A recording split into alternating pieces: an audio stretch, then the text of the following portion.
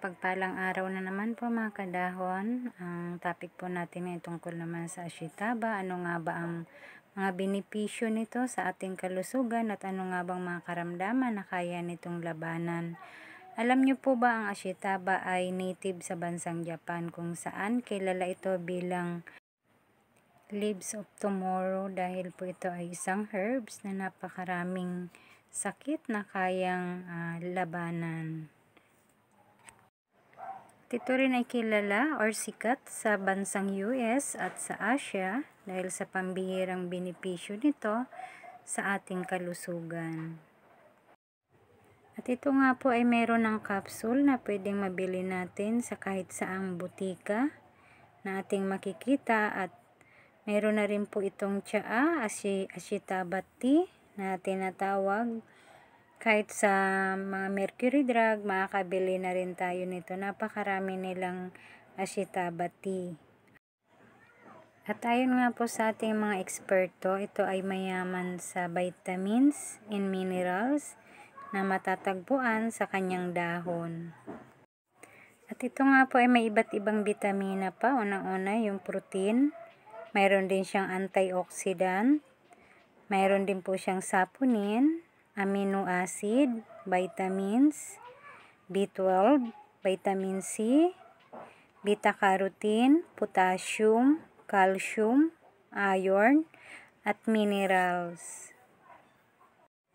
At ayon nga po sa pag-aaral ng ating mga eksperto, ang ashitaba leaves ay lumalaban po sa uh, pananakit ng ating mga kasukasuan. Lumalaban din po ito sa maagang pagkaminupus ng mga kababaihan. At ito rin po ay nagpapadami ng mga good cholesterol. At lumalaban po ito sa mga bad cholesterol. At uh, nire-regulate po nito ang ating mga dugo, ang ating mga blood pressure. At maging ating uh, blood sugar ay ni nire-regulate nito ang ating sugar level. At ito rin po ay mayaman sa alkalize at ito rin po ay antibacterial, lumalaban sa mga bakterya at ito rin po ay lumalaban sa cancer, cancer sa baga at ito rin po ay tumutulong para magkaroon tayong na maayos na panunaw at ito rin po ay ayon sa ating mga eksperto tumutulong din po ito para papayatin o pababain ang timbang ng mga taong obis na sobra ng uh, mataba or lumalaki na ang pangatawan at ayon din po sa ating mga eksperto, ang ashitaba leaves ay anti-inflammatory. Kaya po ito ay napakalaking tulong na para labanan ang anumang mga viral na mga sakit at anumang mga viral na mga bakterya. At ayon din po sa ating mga eksperto, Tumutulong din po ang ashitaba leaves or ang pag-inom ng nilagang ashitaba or ashitaba tea para magkaroon tayo ng maayos na panunaw. At ayon din po sa ating mga eksperto, magandang gamitin ito o inumin ng mga taong uh, mabababa ang mga sperm, sperm cell, yung mga similya nila dahil doon naiwasan ng uh, nahihirapan sila magka-baby. Maganda pong inumin ang ashitaba leaves or ashitaba tea na mga taong uh, mabababa ang similya para magkaroon kayo ng malulusog at maliliksing similya. At para dumami rin po ang inyong mga sperm cell. At ayon din po sa ating mga eksperto, nakakatulong din po ang ashitaba leaf sa mga taong may mga anemia dahil pinaparegular po nito ang ating dugo at binibigyan tayo ng malusog na dugo. At ayon din po sa ating mga eksperto, uh, ang ashitaba leaves din po ay tumutulong sa mga taong uh, sobrang dumadanas ng ubo at uh, may asthma na din, laghain nyo lang po yung ashitaba leaves or bumili kayo ng ashitaba tea. Yun po ang inumin nyo umaga at gabi para mawala ang inyong ubo at ang inyong na ring sipon at mawala rin ang inyong asthma. At ayon din po sa ating mga eksperto, tumutulong din po ang Ashitaba leaves or Ashitaba tea sa mga taong may acute gastritis at chronic gastritis at uh, duodenal ulcer at stomach cancer. Kaya napakagandang inumin po ang Ashitaba leaves ayon sa ating mga eksperto dahil isa rin po ito sa tumutulong para yun nga po labanan ang stomach cancer at labanan din po ang diabetes dahil inaayos po nito ang insulin sa ating katawan. At ayon din po sa ating mga eksperto, tumutulong din po ang acetaba leaves or acetaba tea sa mga taong uh, may skin disorder kagaya ng carcinoma at melanoma.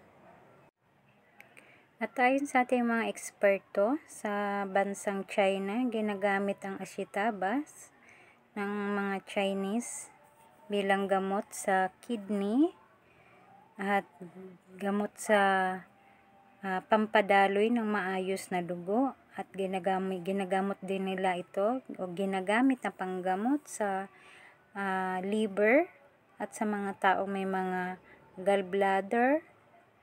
At ito rin yung ginagamit nila na tsaa para labanan ang sobrang lamig na uh, nararanasan nila sa araw or panahon ng taglamig dahil ito ay nagbibigay ng init sa ating katawan. Kaya naman mga kadahon, ayon sa ating mga eksperto, ang bansang Japan ay 400 years na nilang ginagamit ang ashitaba bilang uh, tsaa dahil ito ay napakagandang panlaban sa sobrang lamig or taglamig. Ito ang kanilang tsaa na madalas na iniinom. At ito rin ay dahil uh, malaking tulong na anti-aging lumalaban sa maagang pagtanda ng isang tao. Yung mapapansin natin ang mga uh, Japanese ay mga kahit maedad na sila ay mga mukhang, mukhang mga bata pa sila at magaganda ang kanilang mga balat at maging ang mga Chinese ganun din, di ba?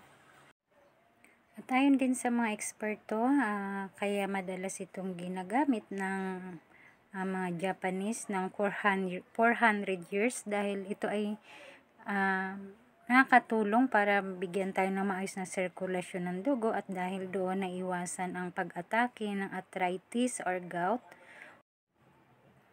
Kaya yung mga matatandang mga Japanese, ito ang madalas na iniinom nila dahil nga naiwasan ang pagsakit ng mga kasukasuan o ng kanilang mga ugat once po kasi na magbuo-buo ang dugo sa ating mga ugat yun yung dahilan kaya sumasakit ang ating uh, katawan. Parang yung lalo na yung ating mga senior citizen, may mga kirot-kirot na nararamdaman sa ating katawan. At maging ang mga 40 plus na mga edad na, nandiyan na lumalabas yung mga kirot-kirot din na nararanasan natin. Kaya ito yung 40, 400 years na tsaa or tea na ginagamit ng ating mga Chinese at ng ating mga Japanese uh, senior citizen sa bansa nila ang Ashitaba dahil napaka good benefits nito or napakaraming benepisyo nito na na ipoprovide or na ibibigay sa ating kalusugan. At ayon sa ating mga eksperto, tumutulong din ito para labanan ang pananakit ng tiyan or mawala ang pananakit ng tiyan, uminom lang kayo ng maligamgam na tsaa ng ashitaba at para mawala ang pananakit ng inyong tiyan or parang uh, puno ng lamig ang inyong tiyan. At alam nyo rin po ba mga kadahon na uh, traditional na ginagamit ng mga Japanese ang ashitaba tea or ashitaba leaves. Uh, sinasama nila ito sa salad or nginunguya nila ng uh, puro lang. Sa tuwing dumadanas sila ng heartburn o yung nangangasim ang sikmura at nangangasim ang uh, dibdib dahil hindi ma mailabas yung kanilang pagdighay, ma maasim ang kanilang pagdighay. At ginagamit din nila ito para labanan or ipanglaban sa lagnat ng isang tao. At ito rin ang ginagamit nila para ipanglaban sa uh, trangkaso. Kaya pag once nakakaranas sila ng trangkaso, uh, ito yung madalas nilang iniinom, ang acetabati para mawala kaagad ang trangkaso na kanilang nararanasan or lagnat na kanilang nararanasan. At ito ay madalas rin nilang inumin para labanan ang anumang mga heart attack or heart disease dahil ito po ay nagbibigay ng healthy heart sa ating uh, puso kaya ito ang madalas na gamitin ng ating mga Japanese na mga ninuno kaya 400, 400 years na nilang ginagamit ito para mapanatili nilang malusog din ang kanilang mga puso. At ayon din po sa pag-aaral ito ng Journal of Dietary Supplement na nakakatulong ito para uh, proteksyonan ng ating katawan. Babala lamang po ng ating mga eksperto na iwasan po ng mga nagdadalang tao or ng mga kababaihan na mga buntis ang pag-inom ng Ashitaba tea or Ashitaba capsule dahil pwede po malagay sa alanganin ang baby habang ito ay nasa sinapupunan. Dahil nga po ito ay may kakaibang lasa din na hindi nararapat para inumin ng mga buntis. Ayon po sa pag-aaral ng ating mga eksperto, ang Ashitaba po ay antimicrobial agent kaya Tumutulong po ito para labanan ang tuberculosis or TB. Ayon po sa pag-aaral ng Journal of Advanced Pharmaceutical Technology and Researchers. Ayan lamang po mga kadahon. Maraming salamat po sa inyong panonood at pakikinig. Don't forget subscribe Herb 7 channel. Like and comment and share. Happy watching and God bless us. Ingat po kayo. Bye-bye.